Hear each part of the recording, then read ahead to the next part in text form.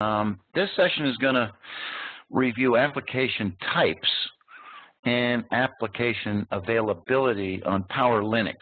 Power Linux being Linux running on the Power platform, and normally the uh, common user group has a background in IBM i, and that's potentially some of their prominent uh, applications and operating system environment, uh, potentially along with Power VM.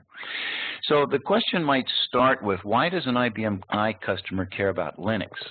So here's the agenda, and you'll notice I eventually get to the concept of what are the applications.